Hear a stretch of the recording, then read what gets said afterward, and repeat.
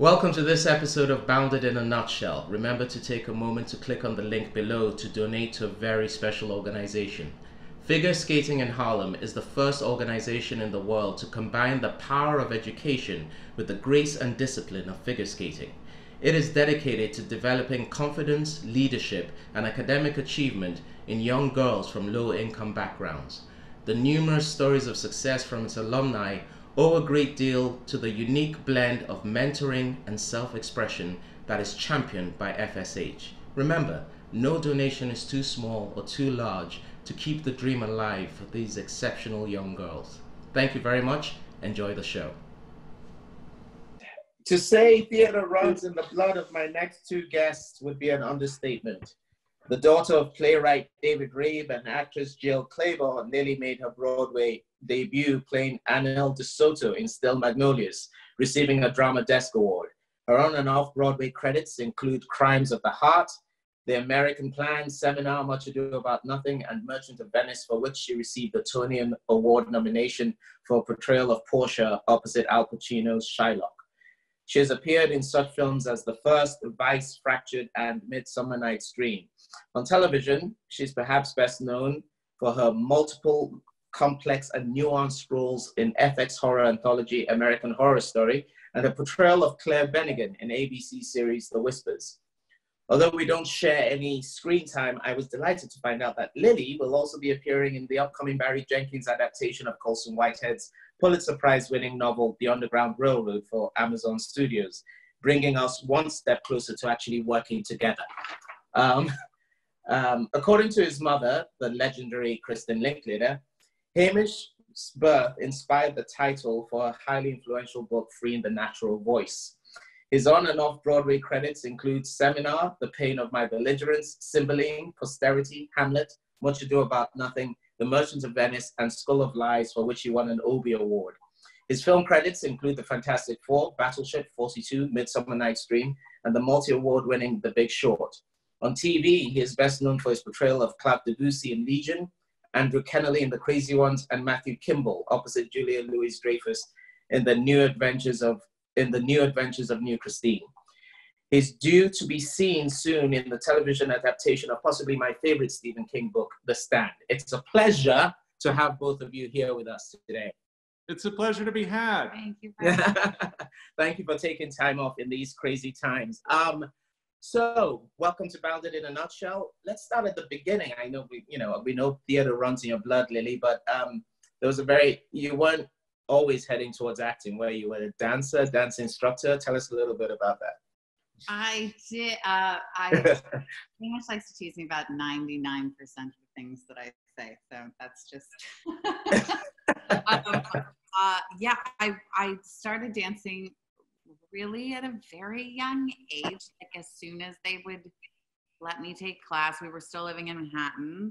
And I loved it. And I think I felt a kind of you know, it felt I, it felt like something that was my own because my mm-hmm. mother loved the ballet and we always went to the ballet, but she had never danced, and my you know, so it was like this is something that um, is is is mine and felt separate. But I think what I loved so much about it are so many of the things that I love about acting and I love about uh, theater particularly and the discipline and the um, the connection to your body and being on a stage and telling a story and um, so i did really love it. I think it was sort of like a roundabout way to get to acting because i probably felt a certain amount of uh, you know just shame and trepidation about just like going into the family business no that's my tummy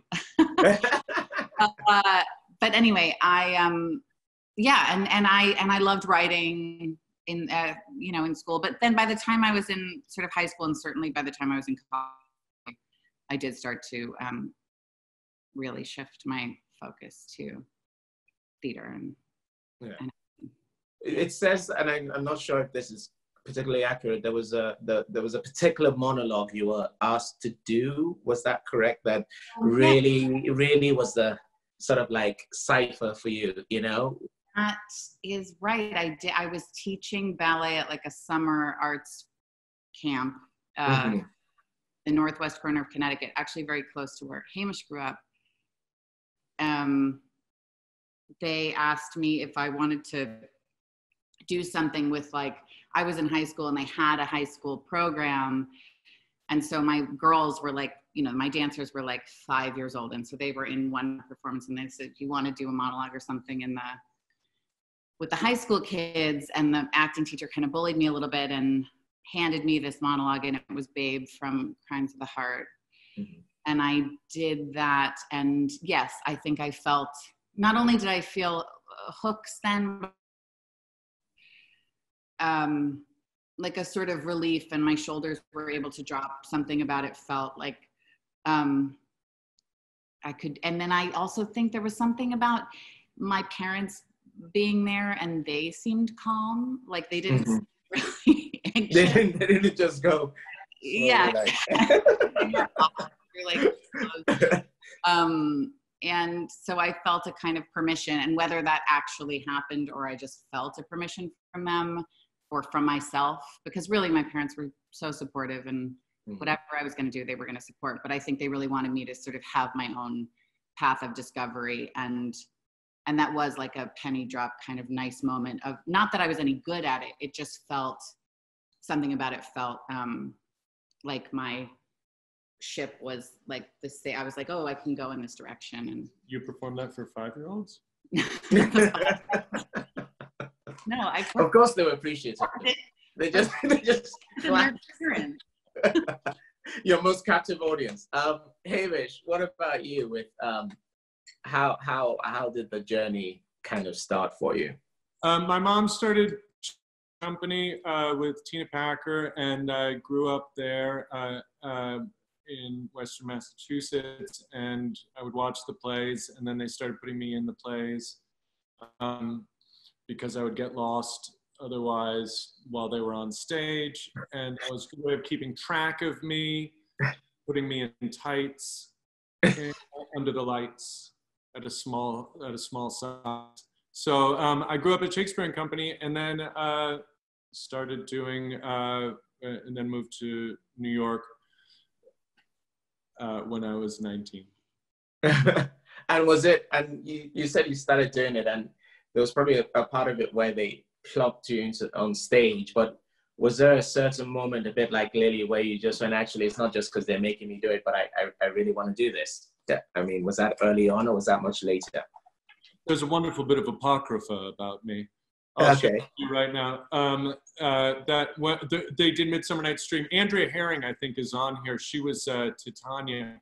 And um, the fairies would all sweep out into the audience, which was this hillside at uh, Edith Wharton's house in, at the Mount. And I was there, and one of the fairies, like the last night, swept me up, and I guess I was four or three or four, and swept me down on stage for a second, pretending I was the changeling child in OshKosh B'gosh, and then swept me off again. And as soon as I got off stage, I said, I want to do that again.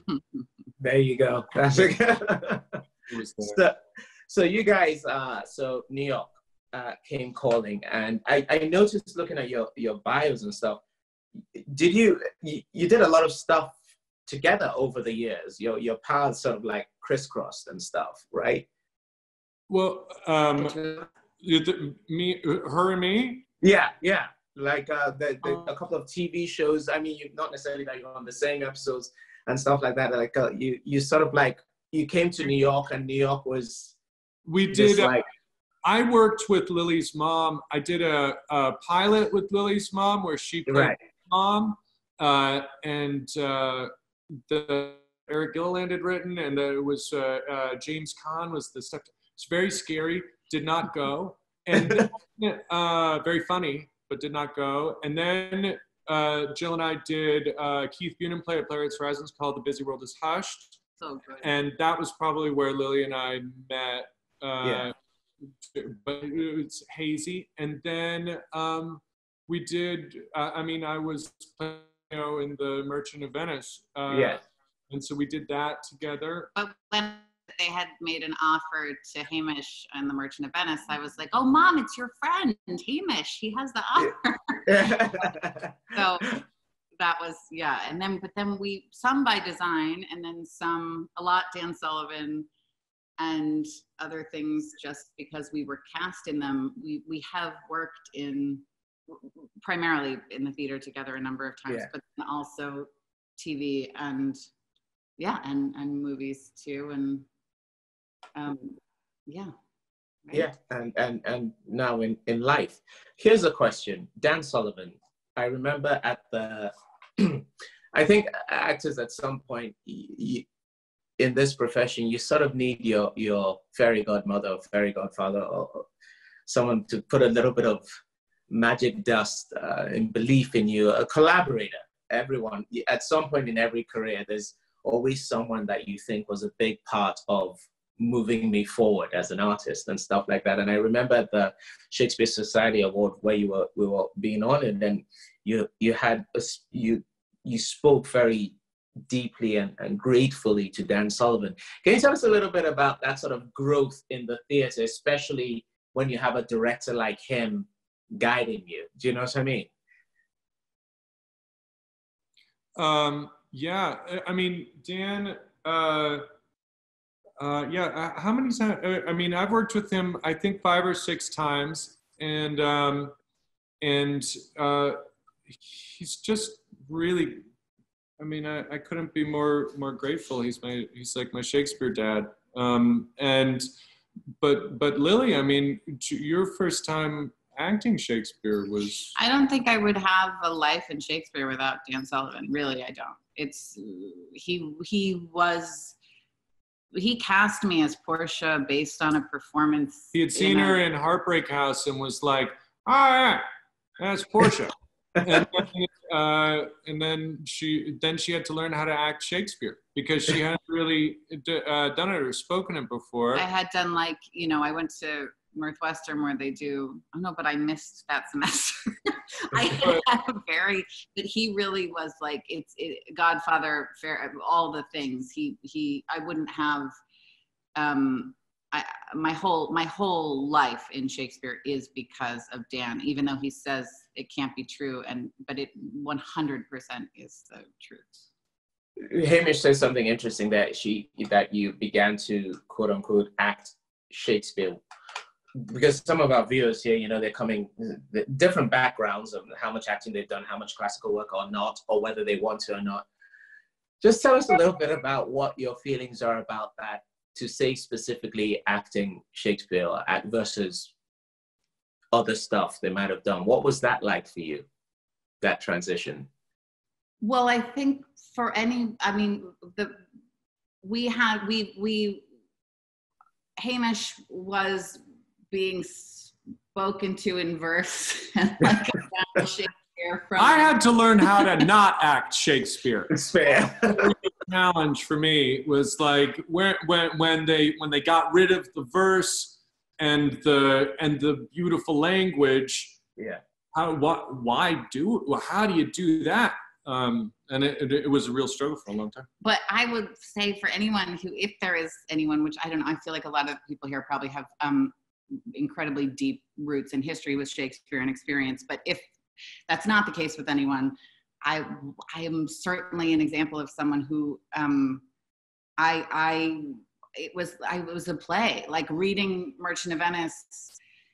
It was I was reading this play. I'd been off. I mean, I knew the play, but it, learning the language and making sense of the language, I wasn't. Um, my brain wasn't full of a ton of training. And this is not to say one thing is better than the other. It just wasn't. And so I really was learning on my feet and learning by doing. And I think it's interesting that it was a Shaw play that uh, Dan had seen that gave him whatever confidence that he had that I could play the part. Um, but it was like the language just made a kind of I think there's something. There's something. I mean, I, I, I would say about Dan uh, specifically that's nice in terms of answering this question, which is that he's like your character, you know, the char- it, it's it's about telling. He tells a story first. It's not like this is Portia's. This is you know. There's no. There isn't that sort of weight to um, uh, the process. I think he's really trying to figure out how to tell the story and. Uh, and uh, and in that way, I think that's actually probably uh, a, a nice original practice, if you will. Like that was, you know, they were they were good stories at the time that had to be uh, told well and compellingly. And I think not having that huge, you don't have that massive w- weight with Dan when you go in Mhm. of um, of um, of a hundred Hamlets on your hump. And I also, That's Richard. the but I also think that something like for I, I I still have have trouble um, articulating myself and finishing sentences, and I have all these things I want to express, and I have all these, and I do feel that Shakespeare. It was like this.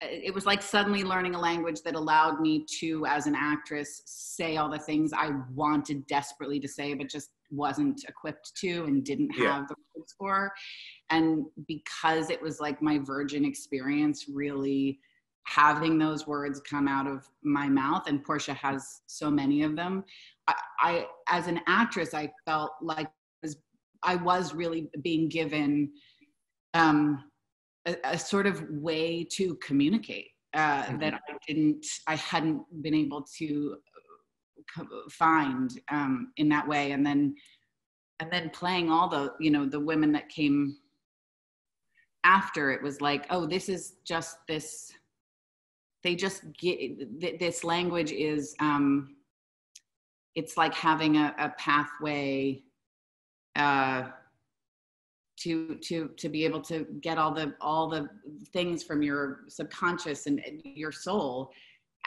out. But it was Out, like very, the experience of it was very um messy and it wasn't like organized. Because well, like what I love about watching you uh, do that and, and explain all that is that often uh, we just had John John Lithgow before you was talking about you know Shakespeare and Lear and stuff like that. But one of the things that is it always is mind boggling as someone who was my acting grew with Shakespeare and the Odyssey and stuff that I was immediately taught that the everything the verse the language that the, the, the specificity of the ideas is all liberating. It's not actually putting you into a corset or tightening. You know what I mean? The very things that people often feel worried about. They know, oh God, it's verse. Oh God, those that line is so complex.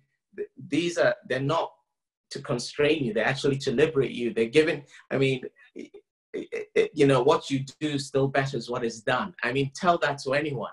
You know what I mean? It's like, of course, I want to say that to my partner that everything it would take me several sentences to say like you just make everything better you you make me happy but then he just gives you this line what you do still betters what is done that's it you know what i mean and how to get people i don't know whether you do a lot of teaching to trust that he's he's giving you all the stuff you ever want to say in real life in a weird way i don't know hamish how you growing up with it whether you how you experience that you know Um, yeah, I, I don't, I, it, it, it, I mean, it's like Lily saying, you know, it just felt like the, the conversation from off stage just continued to go on on stage. And also, you know, it was a training place, uh, Shakespeare and It is a training place. Uh, and so people are learning how to act, but they're also like really learning how to live. I mean, it's deep. There's a lot of shouting. Um, and, uh, and and my mom was the loudest shouter. Um, and uh, but it's that's yeah, it's a great it's great language. But then when I did, you know, when I going from there and then going to school, I mean, just to English, just to like high school English, and them Mhm. asking me to scan a line, I was like, that doesn't make any. I couldn't do it. I couldn't figure out how, how to. I was like, no, he would say to be or not to be. like the most important thing is that there are the two idea. uh, I can't stress that. yeah Um, that was just the English, um, but um, uh, that came but then what, what it, it, it's like what you're saying though when i figured out i did this uh, i worked with peter hall um, we Mm. did the laboratory season at the Ahmanson, and he was still doing this john barton uh, thing which i think Mm. john barton got over of like doing the breath at the end of the line uh, Yeah. not playing the, the to the period in terms of Yeah. the thought and uh, he he just would sit there behind his music stand peter hall and just like beat it out beat it out beat it out you know, not even look at you, but just tell you where you had fucked up because the yeah, yeah. uh, because the and um, and he was like, but if you do it, it's gonna sound natural, and and it was amazing, like when and I still do it now, really subconsciously, but I do tend to take my breaths at the end of the line, and it's and and I still get accused of. Uh, making uh, of of uh, I don't get accused. Nobody cares. But um, but uh, but you know, it's it, it does make for a natural. It does make it thought. It does make it emotion, and they are all means to an end. All of these tools that are there. But then you're so happy. You're like, oh man, I've been building that bookshelf forever with my head, and actually, there's a hammer and nails here that I can pick up too. I mean, both ways make a bookshelf, but Mhm. uh, there's there's tools all over the place. That's what's so wonderful about training. and that's what's so wonderful about I, I I also worked with Peter Hall and I remember my audition it was for the Bacchae he didn't look up, up at me once and I went into the audition saying I absolutely have to know all my line endings all whatever and I remember at the end of the audition it, when he you know when he offered me the part he just said very well spoken. Yeah, you know? And people diminish that a bit. Like it's like you're not being true to your emotional life. But i had a we had a masterclass with a student doing the hermione speech you know after she's brought up in front the speech. And uh, i had her say can you just for me i called it an exercise. I like you do it all the time. I, I just can't approach verse not doing those things. And um, I said to her, just, I know it's weird because natural, your natural instinct is to run it to the end of the sentence and the end of the set, you know, but just take those beats at the end of the line, as they say.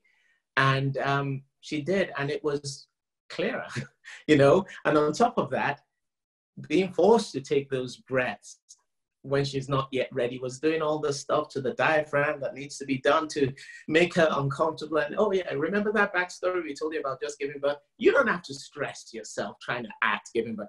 I can hear it and I will then see it. Do you know what I mean?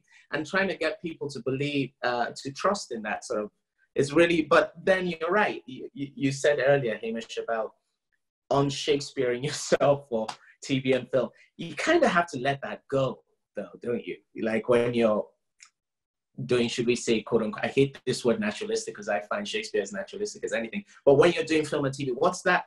What's that other approach like for you? You know, I mean, Lily, you you didn't really do a ton of Shakespeare and then try and come back to film. You were sort of doing it together at the same time, your theater and film and TV. So it was probably not as much an issue for you. But I'm just that that question is specifically to Hamish about going from that classical world with that looking at lines in a certain way into film and, and TV.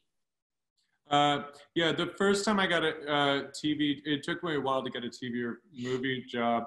Uh, moved to New York, um, and uh, I did uh, uh, in my first take. I remember my first take in front of the camera in in my first uh, movie role, and the guy came up and he was like, "I think you have to do something."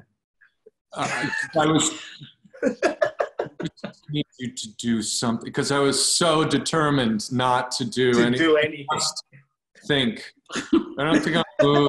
My mom's gonna move. No, move. I was just thinking. And it's like it really does. It looks like you've fallen asleep. Sleep, yeah.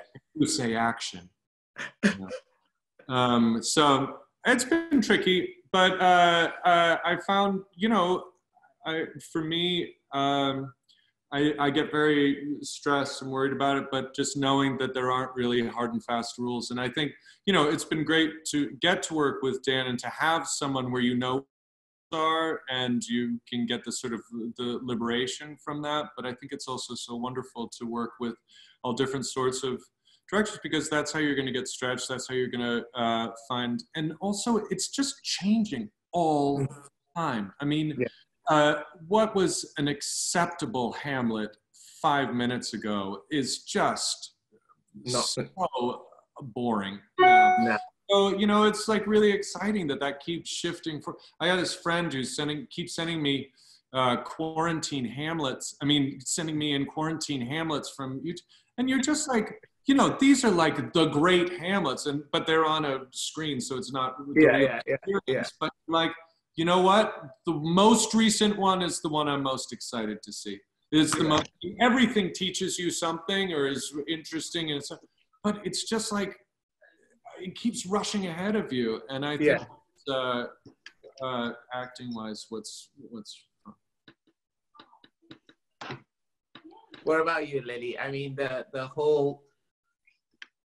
I mean, I, I share that whole thing of you come from theater and you come to film and you just say do less and then you're uh, you're like you're just staring at the screen. Was that the- bouncing between both worlds? Did that come pretty straightforward to you, or did, was there major adjustments for you? I think the hard the hardest part was just and and I feel this is shifting now too. Uh, but I I always it was the, hard it was so hard when I was able to play the parts I was playing on stage uh, and have the language that I had on stage that sometimes certainly not all the time but um you know in with a lot of film and tv it just felt like there was so much there was so much less there was so much less for the women there was so much you know and and um and i do think that is shifting for Mhm. women also i think there's just like such incredible and uh, you know working with barry and that writing and having Mhm. that i mean it's sort of a, a great example of where it felt like the roof kept opening up the ceiling kept opening up and there was more and more and more which is always how it feels doing a great play and not Yeah. always how it feels doing certain uh TV. Yeah. Uh, tv Yeah. And I remember Barry, Barry actually saying, coming up to me um, when we were filming, he says, you know, we were doing this one of those scenes because he writes. He's a poet when he writes, and he writes, and like, this scene was the, was the length of the Bible. I felt like I was speaking for the length of the Bible, and he just came up and said, "Why do you think I hired you? Because you do theater." And he's like, you know, it's changing where that world's being embraced in in the writing, also, right? yes i i think and and as a woman also i feel like you know there there are You're One- getting to say that much, you know. It's like, yeah. Yeah. there too. But but that was sort of always the the bummer of it was like, you know, it was like when I I, I know how to ski and then I tried to snowboard and I was like sitting on my butt. I had like a bruised butt and I was on like the bunny hill. yeah, yeah. Uh, and I was like, I could ski this whole mountain. And so then sometimes it felt like that going from uh, going from theater to to the film or TV, but it, it, it less so. And you know, it is it's so lucky to go back and forth, and they inform each other so wonderfully. And but there's Yeah. nothing like there's just nothing like doing a He- uh, So here's my question now with the work. I'm one of those people, and my wife will attest to this. I can't even do self tapes, emotional self tapes with her. Like I'm like, I can't do this scene with you. I can't tape with you. Yo, I know you. I mean, how is it? we have to do a tape later to right after i'm supposed yeah i have to do an But tell, be honest about the self taping situation. it's not good How is it as your partner? Like, tell me honestly. Is it just me? good. It's not good. It's not good to do it. Yeah, I, I hate. I hate. I hate it. I hate. I hate taping. Uh, I hate taping Lily, but the only thing I hate worse is asking her to tape me. I, it's just like, ugh, no. You don't want to go to. I mean, no. But then again, you've done. So what is what is the? I mean, I've I've said to Angela. I said I really don't think we should do a show together. I love you dearly, but I don't think we should do a show together because like I've seen how it is with taping. So what is it that you can go and give us? You know, your much. The first time I saw you guys perform was actually much ado about nothing, and it was absolutely breathtaking and set a real bar for because I was coming in straight after to do Lear, and I'm not just saying that because you're a guest. And it was just the back and forth was just so natural. And you fell in the audience. You did that thing which we as an audience don't realize we want. We don't actually want to see you doing the work for us. We want to fall in love for you you know and it's beautiful. So but how do you then work together in parts like this? You did cymbeline together. You did that together did you do a romeo and juliet together no am i making that up You i'm making did. that up You did the balcony scene at like a gala. that's the one but Yeah. yet you can't self-tape what's that all about I think it's embarrassing. Uh, I think it's just like it's it's just like what I mean. For me, it's because the an audition is like trying to get a job. It's like just that neediness, which is so humiliating and so anti whatever. And I know that that's not what you're doing when you're making it audition. You're really it's like your chance to act probably for that for the day or for the week or for whatever um, and so you should embrace it and but uh, but then having your partner watch you want to get a job that both of you secretly know is gonna be going to Backdraft or to go for grace um, like it's then you're that was good honey that was that was good that was great Good. No, that was good that was really I don't mind it. I'm like, let's do another. Do you want me to do another one? How how can I help? And Hamish just won't. I won't talk to her for the rest of the day Yeah, it was garbage. No, it was garbage. You know, it was. Gar- I should have worked harder. That's the other thing. Is it's like the laziness. They know your your level of of commitment, and Yeah. why didn't why didn't you get off? I mean, like Lily. Why you off book yet? Yeah. Yeah, Lily will Lily will say, "Let's do it again. Let's do it again. Can I? Can we just run the lines? Can we run the lines just one more time?" And and she'll be like, "No, I that semicolon was a total total colon. Let's go again." And I'm like, "Oh, I hate you so much." And then I'll do it, and I'll be like, and then he says something about feelings, and I'll get it. And she's, she, and uh, never mind. I just need to say it out loud. so is that um there are a lot of uh he, here's the question i always ask people because a lot of people coming on the show are considered as quote unquote established you know whatever that means let's not talk about starting off. Let's talk about when you'd had a couple of things under your belt that were had put you out there right? Were there periods of not having things under your belt? Were there periods of like why isn't you know tell us about the I, I my allegory for it is tell us about the bits between the pictures in the album not just the smiley bits were there times of struggle even after you had quote unquote made your big splash or anything like that? Tell us. Well good. We'll get a story each from you then. I'm trying to think of it. and also how you navigate through that you know because uh, apart from covid you know there are people there some of our viewers are just starting off. Some of us are trying to get started off. Some of us have started and things have slowed down. I mean john lithgow just before you was saying how he he almost took an artistic director director job you know because he directed in the when things went suddenly quiet you know there are other conversations people have with themselves about why should I be doing this? What else can I be doing? You know, and I just wondered. It's important that we all know that happens that can happen at the beginning, but it, I think it's important to know that it's all relative. It can happen anytime, and it's it's relative the degree of it. You know, I, I remember doing a, a play with you know lovely Keira Knightley. Uh, it was her first play, and this is Keira Knightley in every big blustered Pirates of the Caribbean. But I remember her coming into rehearsal one day a bit down because she'd lost out to someone that was already at, she was only about 23 at the time, but someone already was being named the next Keira Knightley. Do you know what I mean? The craziness of this business. So can we just tell about the, the, rea- the fact that that's a very universal thing that goes and how you navigated through it, your version of it? Go ahead. I was gonna, uh, you know, uh, this is like my mother who um, was an actress and had all, you know, such a sort of in her career, and so much of her career and her sort of, sort of booming parts of her career were before I was uh, even a thought.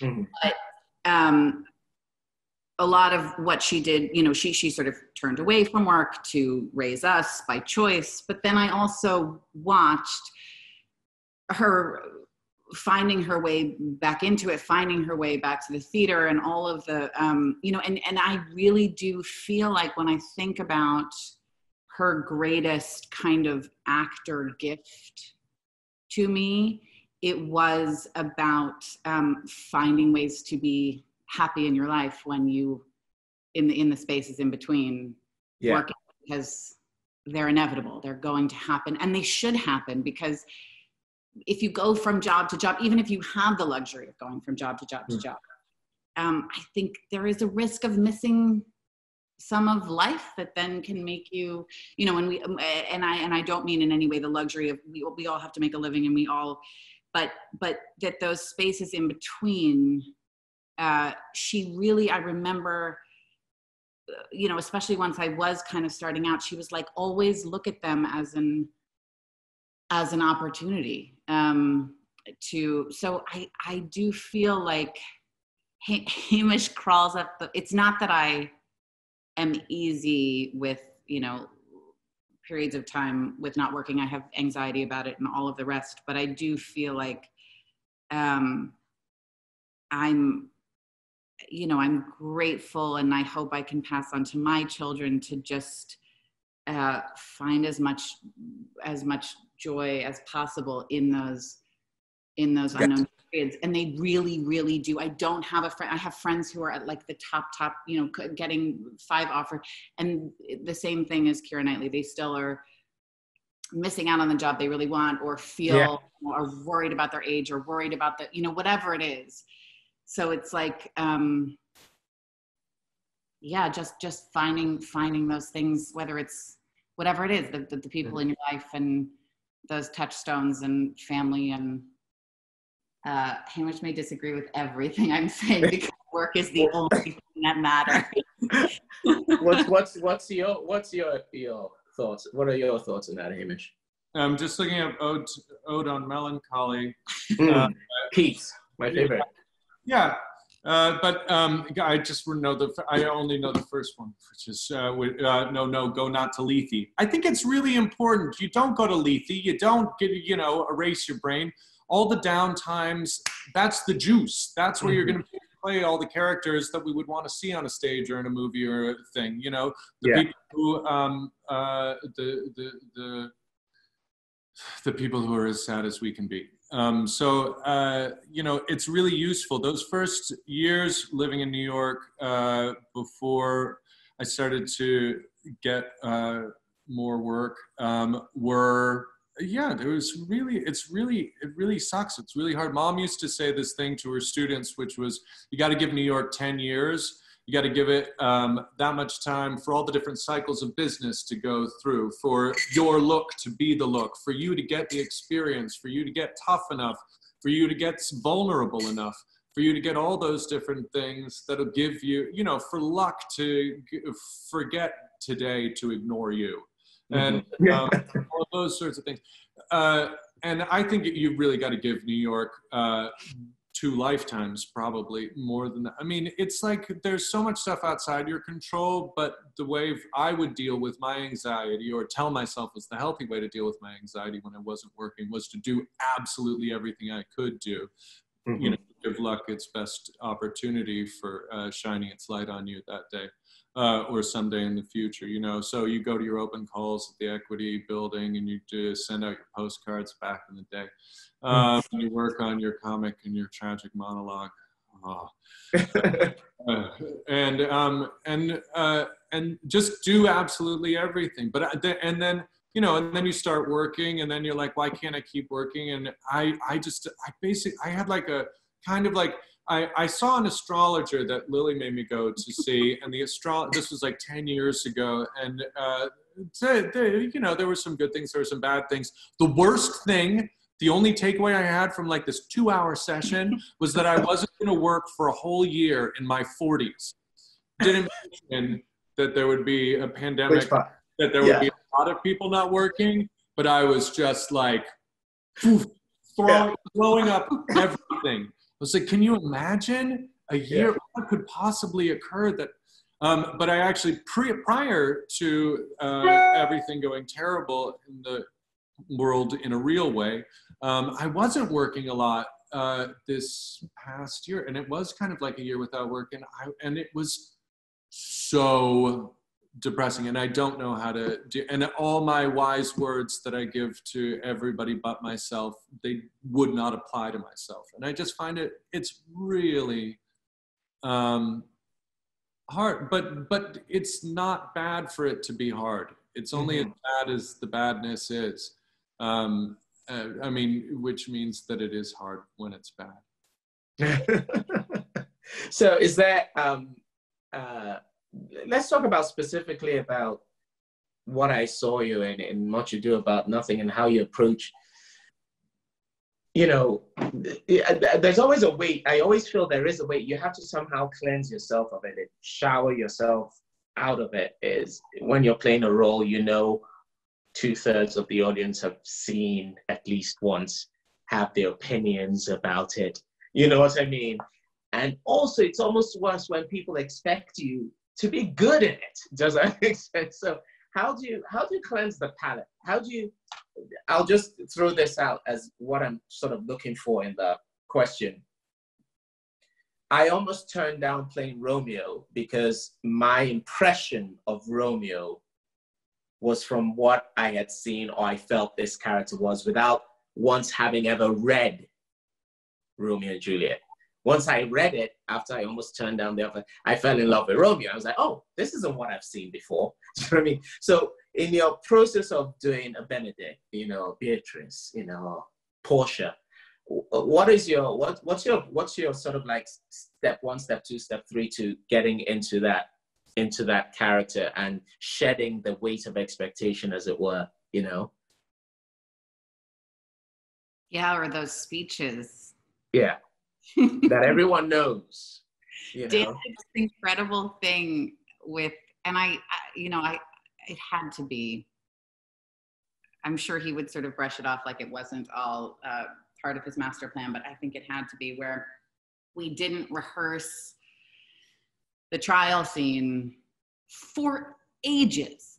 And I mean, like we, and we had, the, it was when they were doing rep, you know, there were those few summers of Yeah. the, the Yeah. rehearsal period was much longer and you'd have days off and but it was like weeks and weeks and then we would get to the trial scene and like oh we've just run out of time and the day is over and it was it was so because uh, so many of the things and the Portia speech and and Portia and Shylock Yeah. coming to, it's the only scene we have in the play Yeah. um, but it was like by the time we actually got to that and all of the things that you know were like had were built up you know these like mountains these impossible Mhm. the the ground was he had like laid down all the tracks of the play so that by the time we actually did say the words at the track i think we said you know we said them in the first table read and like a month later finally saying these words. And it was like the tracks had all been laid down. There was no quicksand. And so then you were able to just and i remember the first time al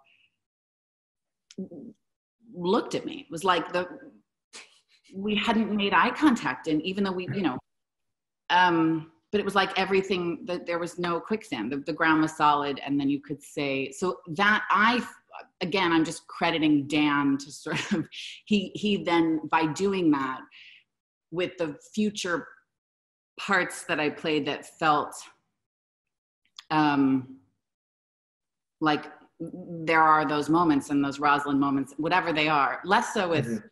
Cymbeline. Mhm. Um, but you know, these one, you just know that everybody is thinking like, oh, here comes this scene, here comes this yeah. moment. yeah. Uh, I just would really try to remember how that felt in that process of uh, almost, it was like you were so ready, you were so tired of waiting that then the, it just felt inevitable to say the thing that you were going to say Right. and the noise around it just was so much quieter. And that's funny because that's quintessentially the whole idea of need, the need to speak in Shakespeare. Do you know what I mean? You, you just explained in a sort of bigger way the moment to moment need to say what you have to say. And so how you sort of manifest that during the rehearsal process in a way. Yeah. Help eclipse the anxiety. Yeah. You know, and the weight of the fame of the thing. Cause you're like, I really, I've been waiting that I have to say. I have to say this. I wanted to, yeah. What about you, Hamish? Um, and, uh, and you, you have the special, I don't use the word weight because I think I mean, just the time I spent with your mom was just so enlightening. But you do have the legacy of being Hamish uh, Linklater, uh, Kristin Linklater's son, who should know this stuff, and people expect that you breathe, eat, and make your phone orders in Shakespeare or something. But it's like, just but was there? Do did did that in any way add to you expect your sort of like demands on yourself on playing these big roles that are so well known? God, I didn't feel nervous about it until now. Um, uh, yeah, yeah, don't fuck it up.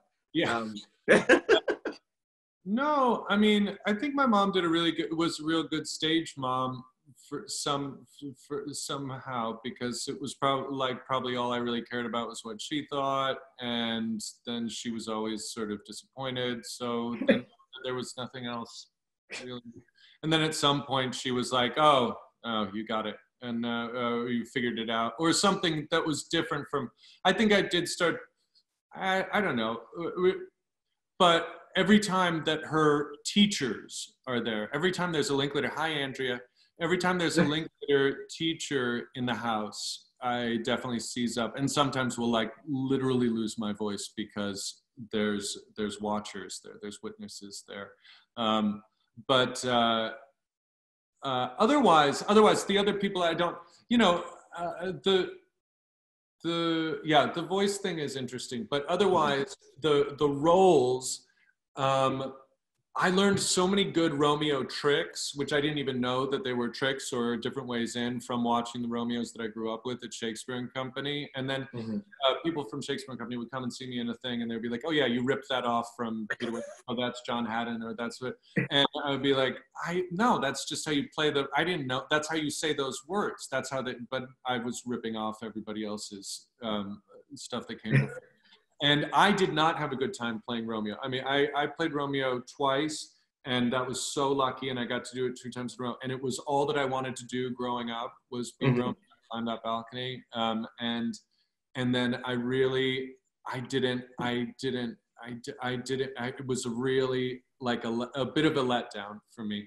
And I have a friend out here. Uh, who really loved playing Romeo. And I actually really loved playing Hamlet and didn't grow up with a lot of Hamlets at Shakespeare and Company because it was outside and that's more of an interior play. And uh, yeah. and so a lot of that stuff I felt like uh, I don't know. I, I think like that part is such a weird thing to figure out the navigation, uh, how to navigate it. Mm-hmm. That um, worrying about how somebody else had done. I mean, Rogue and Peasant Slave, I think is hard. But uh, that one, I would always be like, "Oh, this is why. Why that one in particular compared to uh, just like because it's so great and it's so like uh, such a. There's so many chapters in that speech. Yeah, There's so many. Yeah. It, you know, if you get it, right, I mean, it's really one where you hate yourself more if you get it right at the end because you know you can't repeat it. Then yeah. Uh, but but that I did I have I, I I just I find that these parts now are such a joy to play. There's such a um, uh, you know, it's just like it's uh, I, no, nobody gets to take that away. So yeah, you you know.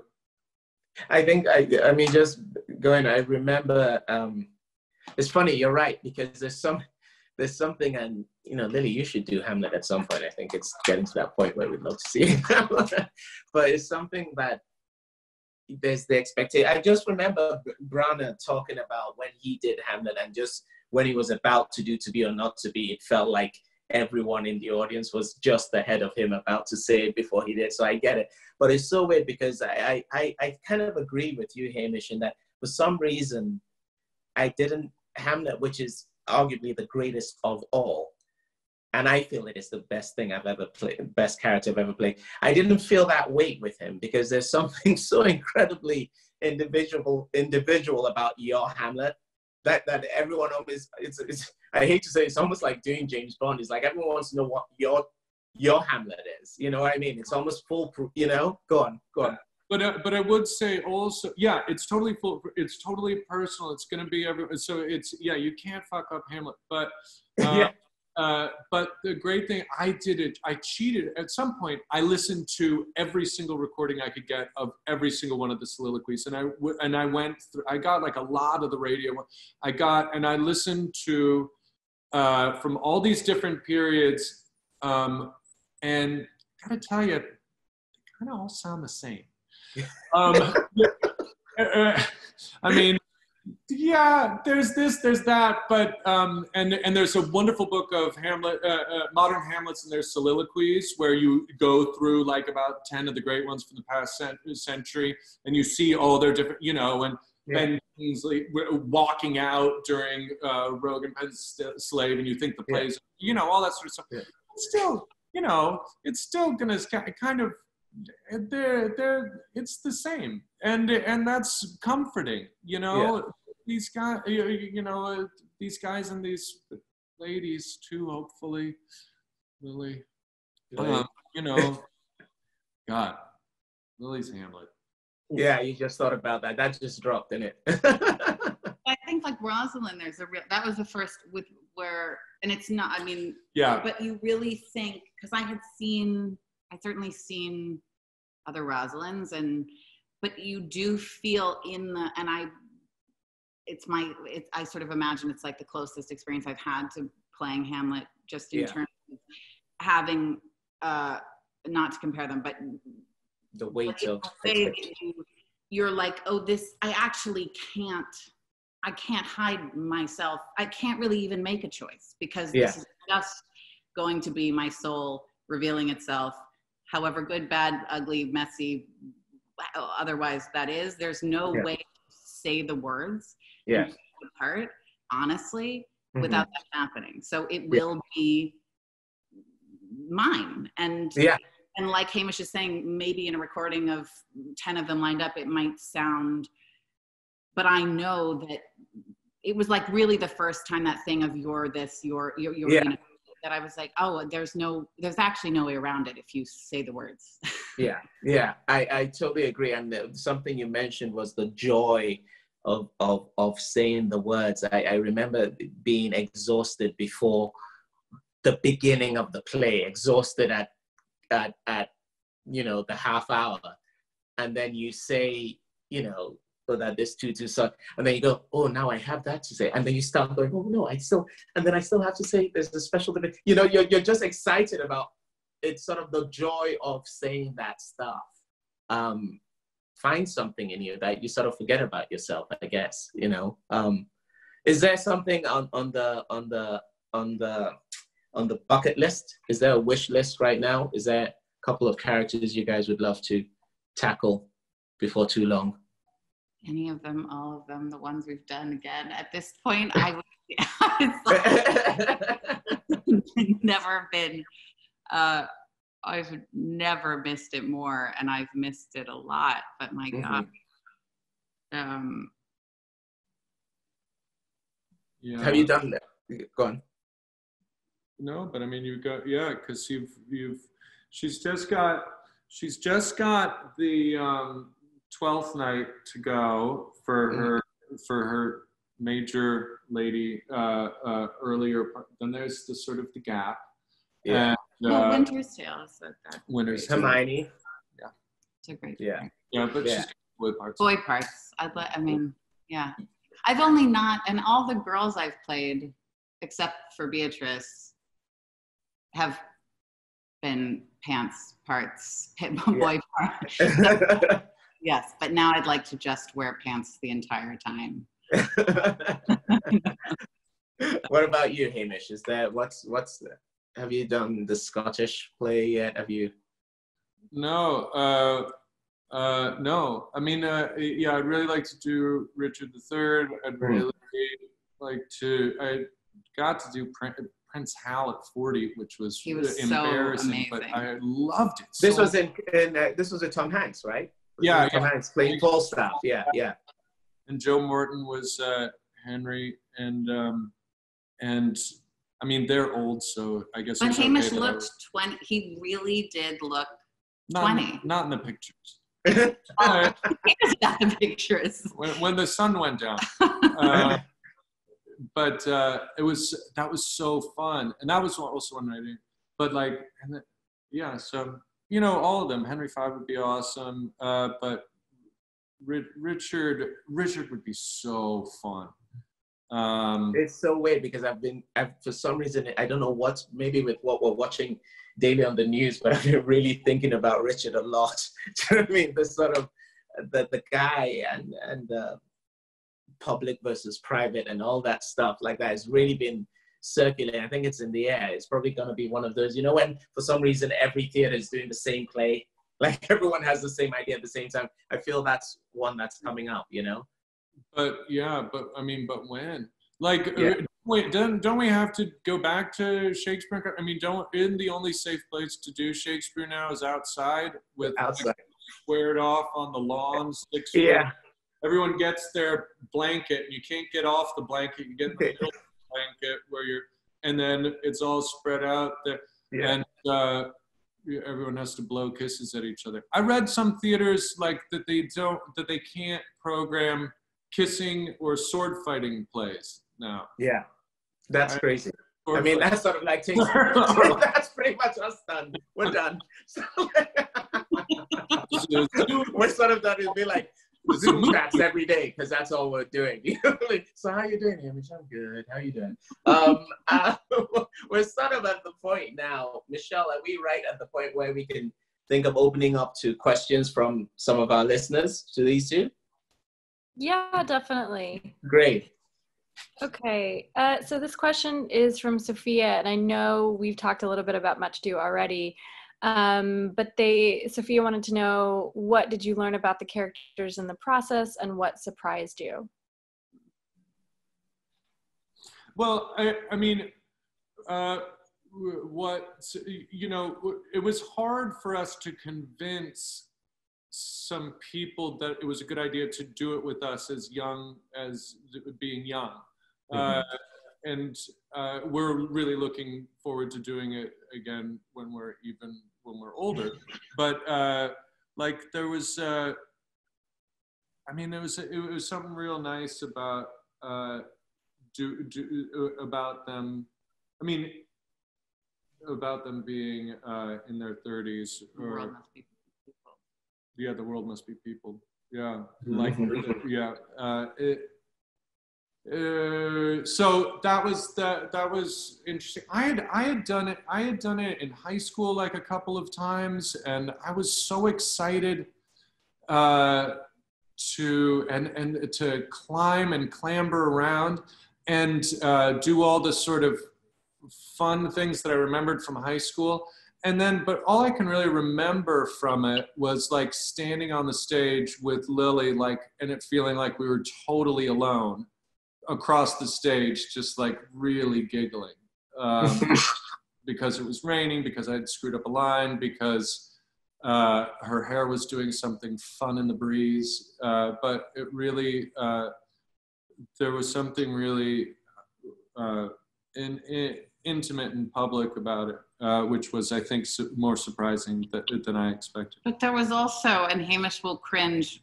for sure. I just said something so cringy. I just you can let out all the cringe cows now. but it was like really loving someone and really knowing someone and then saying kind of what you were saying earlier how we you know we can f- try to find these ways of expressing our love to the people we love in the world but saying those things that they say to one another and having these witnesses uh, Yeah. It was like it was so uh, painful it was so amazing Yeah. so because there was uh it was like it really, um, I, I like Jack during that scene. I just, he would just, we would, there was so much crying in Mhm. rehearsal over that scene uh, because uh, it's so simple what they say, and yet it's the best possible. Uh, so I, anyway, I can imagine certainly people playing those parts and falling in love, but I already loved him, and Mhm. then I was saying these things, and it was like um, that was really special. One of the, well, I mean, He, he can't look at you right now because he'll Yeah. break down if he makes eye contact with you. Yeah. Dirt. Great. Lot of All dirt. Next question. Okay, next question. This is from Colby. Uh, do you remember a moment you had to level up your commitment as an actor? What sacrifices, changes did you have to make in terms of discipline to have a real career versus a few gigs? I mean, I think uh, honestly, I think that change. That's always like, you know, whether it's like, do I need to get rid of this? You know, it, it, there, you're making these choices like all the time. Like, what, what, what new?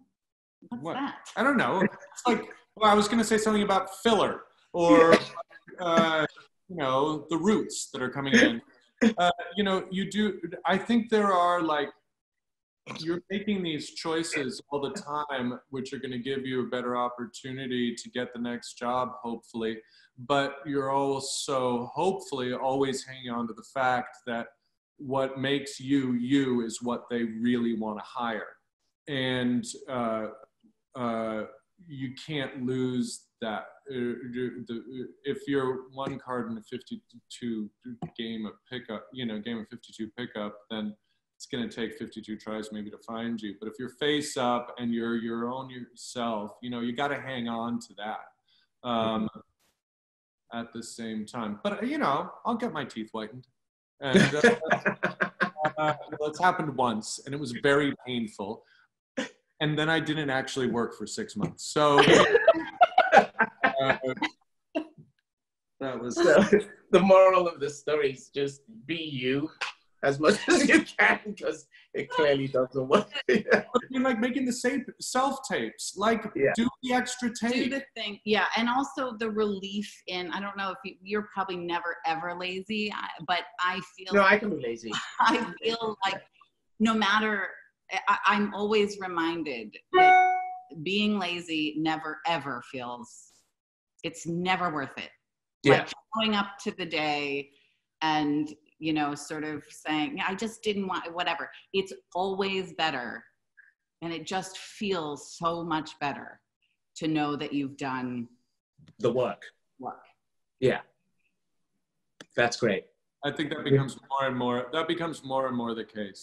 Uh, Yeah. that actually, I think your anxiety. Uh, for me, I'm much older than Lily, but for me, uh, as time goes by, my anxiety about not being, not having worked hard enough goes up, and, uh, all the time. And uh, you would think you would get sort of like more confidence. But is that is that when you say goes up with that? Because I know I fall into the trap of only thinking I haven't worked hard enough after the fact.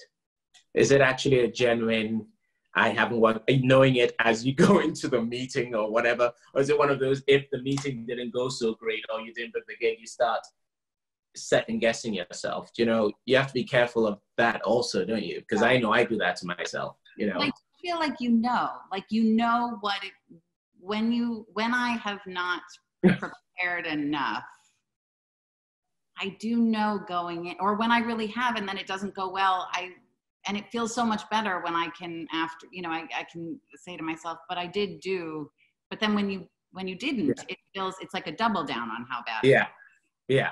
um I find I find it easier to let go the ones I know I was totally prepped for. You know what I mean? Because it's harder to find the reason why you didn't get it, you know, and Right. stuff. Yeah. Yeah. like it goes into the wind and but yeah. Yeah. Okay. Next question, Michelle. Next question is from Sarah, who's a director. Um, she says, You both mentioned directors you have loved working with and the freedom you have gained during those processes. what is it about those collaborators that you wish every director would bring to the I, I, I thought the question was going to go, now name some of the bad ones who restricted you and made you feel comfortable. And their you can do that too uh, what was, What what what the, the, the commonality of the things that you love about the directors that you love the most? I, I, I mean, I'll say that I find, you know, I, well, I don't know. I think a lot of good directors, uh, first of all, they cast their shows well, so they know how to direct the actors that they cast, but they also are flexible and they direct different actors differently. I mean, I think, you know, Dan will deal with me and Lily in different ways. Uh, and uh, basically, I think a director who makes an ensemble that is happy on stage together. Uh, as an audience member, when I see a cast that is into each other, that's my best experience as an audience member. And uh, so I think uh, that kind of team building is is good um, for a certain kind of show. You know, if you're doing something with a lot of projections where you have to just stand very, very still, um, then you might a different director's sensibility might be required. I also so appreciate, and, and really in theater and in film, TV, someone who definitely, you know, I, I'm always like, please just have have an opinion. Your opinion. Getting in your, you know, have an opinion, but then know that it's when that when that person with the strongest, clearest opinion comes up and says, "I, I was wrong. hmm I gave you Yes. bums. I was wrong." Yeah. That that in no way diminishes your You. Yeah. feeling of I will still follow you. I will still. Yeah. It's it, it, if anything, it, you know, it does the opposite for me. It's like I. So I'm I'm always so thrilled when someone um, And the- has that real confidence, but then also like without any kind of. There's, you know, they're like, oh, and that isn't working. Because then also as an actor, you can do the same, and you can try the thing that then, and then go, well, that was, let's not do that again, or I'm, you know, um, it just, there's so much freedom in that. the true genius directors, though, are the ones who make you think every choice was yours. Is yours. Yeah. and that Yeah. you built the performance yourself in spite Yeah. of because if it's your performance if it's the actor's performance that they have built then they will perform that performance night after night with gusto and, Yeah. you know? I always find my my my favorite directors are the ones people when people ask me how was it working with them? I go I can't actually remember the notes they gave me. They were mm. clearly guiding me clearly and like mm-hmm. you say I, I was I said very early in this is I can't remember whether it was Richard Eyre that said it or Sam Mendes but they say 90% of their work is done in casting. So they cast the people they put them in there and all that but it's, it's often very hard for the directors. I really the ones i would go you know go back to every single time.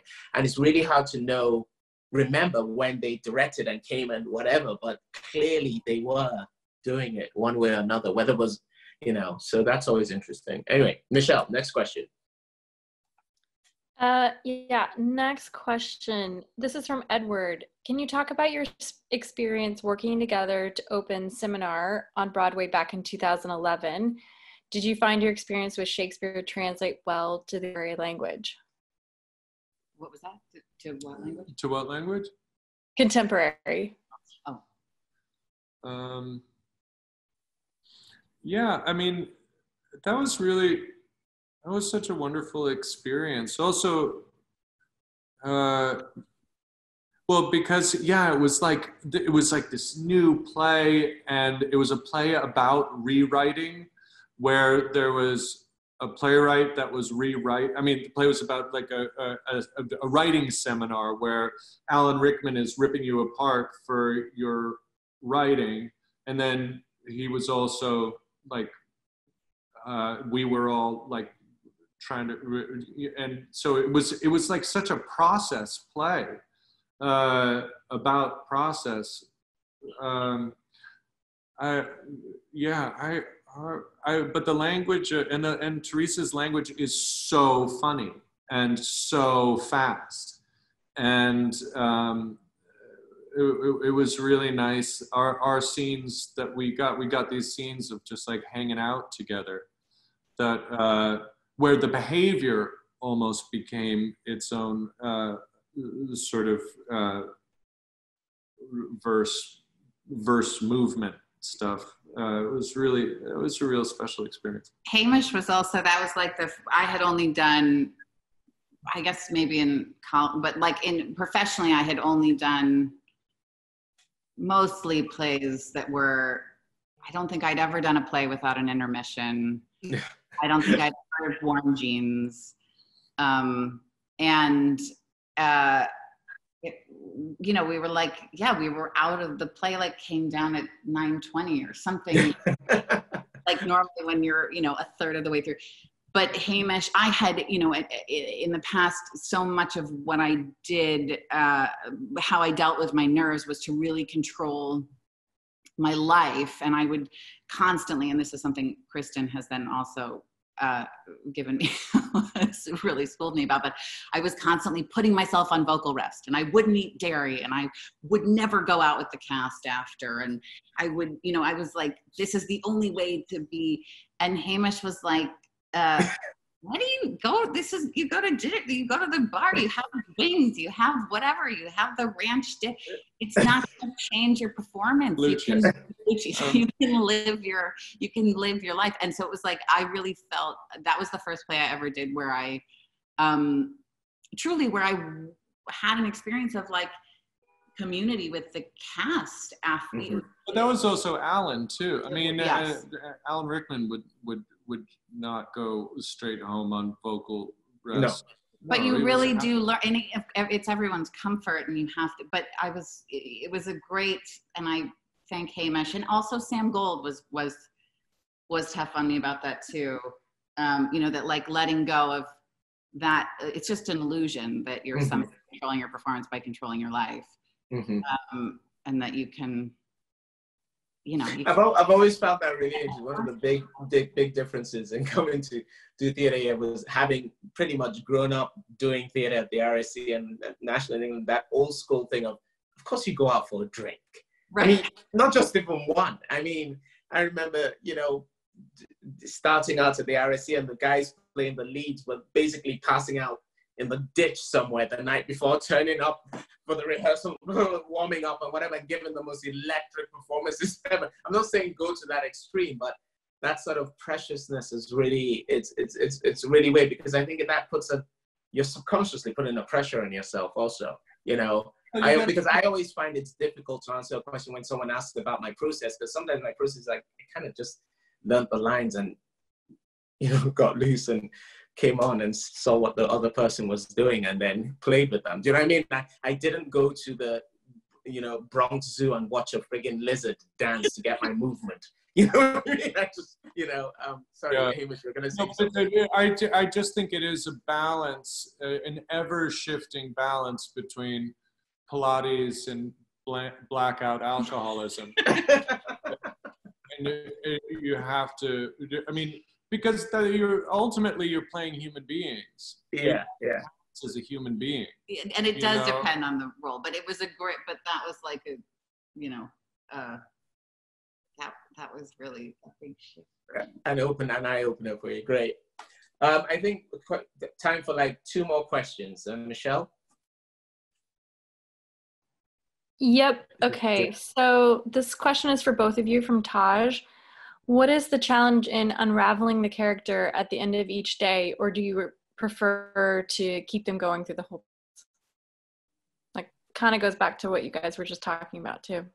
you know, it's uh, that's yeah, the because now there's like uh, uh, people do all these vocal warm downs now, which are so great. Um, where it's not just doing your warm up, but you warm down after a show, which is uh, so smart. And I think that's also depends on the character. There are some parts where you don't, where your character doesn't get to finish the night, you know, and that's so hard. But where you're like, you don't get the catharsis, you don't get the, you know, like I can't imagine being Malvolio and just being like I'll be revenged on you, and you storm off. I mean, it's just like there's no end for that guy.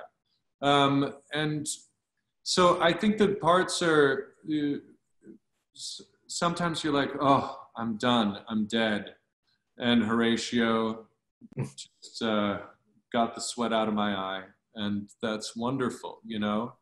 Um, but uh, in some parts, they're just like you gotta hit the bottle to let it go. but it, but you also I, I find that um, some of them I, would say it's I never feel like I'm truly separating from whoever it is until the end of a run or like the end of a shoot. But it's mm-hmm. interesting how some of them by the last day, by like the the, the closing of the show or the wrap uh, day, you're so I'm so eager to say goodbye, and then some of them I'm like, please, please, never let me go. Mm-hmm.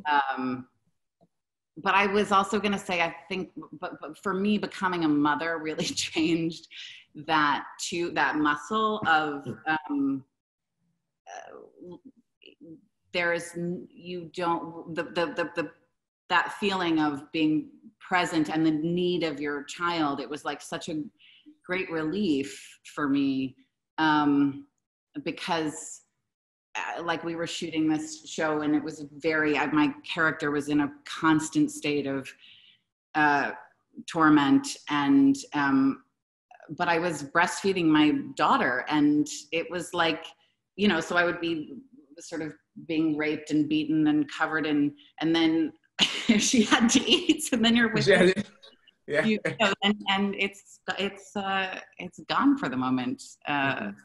so i think it also depends on what your life is like or or um what you want your life to feel like in this you know going in and out.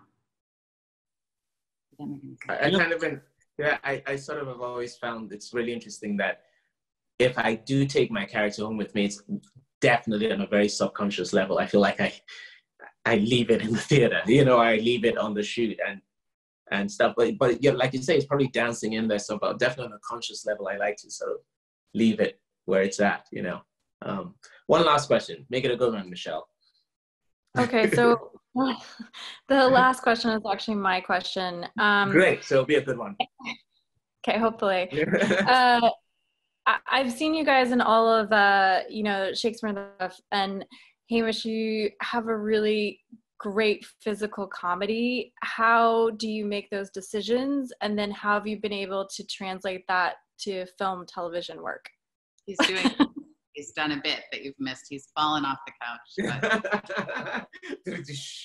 uh, uh, physical stuff. Um, uh, I don't know. You know, I I started really enjoying. I think uh, actually the first uh, doing 12th night, uh, doing Aguecheek for Dan Sullivan uh, in 12th night, and really running around and falling down a lot.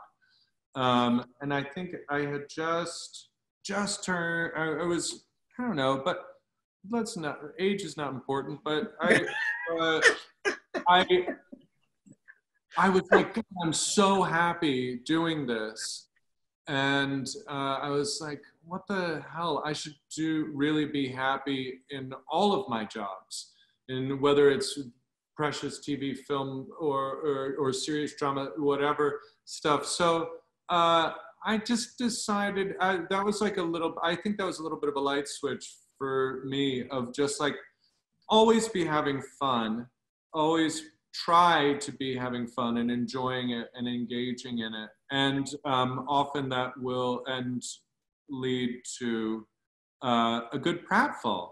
Uh, or, or always be sniffing out a place for and then I did I did do that uh, this show with Robin Williams uh, that uh, oh did I just drop that name um, and, uh, he uh, and that was like you know we're, we're just like hungry for life hungry for laughter uh, and just always trying to like and it's I think that stuff it's just it's just e- easier not to not to try to make it hard. But Hamish is also not afraid of falling, and I mean that in every way. Jumps off the and when you when you show up to tech at the, at the Delacorte, the guys come out and they're so excited that Hamish is back because they know that they can like build the thing higher than is maybe code or I don't know, but he's gonna climb it. Uh, they don't have to, you know, it's like, and then he's gonna have like a big swollen hand. Not But that was. But that was because we we had this theater that was in this house where there was a real balcony, and the guy who you know would climb the balcony. They just like, and they would climb the trees, and they would fall out of the trees all the time. And that was like, I mean, if you're not climbing a tree or falling off a balcony, is it really a show? So, so, but how specifically to Michelle's question is, yeah, I get that in Much Ado About Nothing and uh, and all that stuff. But is there room for that if it isn't a clowning role on TV? Is there room for that playfulness and that slapstick on TV and film? Do you do you, do you find places to sneak that in? Gosh, I don't know. I mean, I think I think there. I think. You know, I'm always on the brink of laughing watching you, Hamish. I don't know what that's No. all about. So I know. you must do just so. like a serial predator and and and I saw myself in the ADR and I was like, oh, this is gonna this is gonna change things for me. And then I was like, oh God, oh he's the serial predator. Oh, no, no, he was terrifying. no, there's no way. Um, but I I don't know. You know, I just feel like acting is like spread, and especially with all this new television and all these new styles that all these people are, are working. The new style, the spread of it. There's so much more room. Uh, the you know, there's no such thing as TV acting or film. There's like, are you doing your Ryan Murphy acting? Are you doing your uh, Noah Hawley? I mean, it's like all these different auteur TV people are making all Yeah. these styles, and you do all this different stuff, and then like I had this great idea for this new character I was going to play, which was another sort of scary person, but I was like, oh, he's going to really be doing a lot of dancing. And then I saw, oh, Joaquin Phoenix does dancing all the way through that Joker. the Joker. thing. And I was like, oh, they, he took the, how'd they let him get that? Oh, they, you know, that's right. He lost 70 pounds because he did the Pilates, but then he uh, also, he also was throwing it away, throwing it when the cameras roll, throwing it away. Michelle, did that answer your question? Because I don't I- even remember what the question there, was. yeah. yeah. Yeah. Excellent. Well, guys, look. First of all, Michelle, can you unmute all our watchers and listeners to just thank these guys for giving up their time? Uh, thank you so much. So, so much. Good.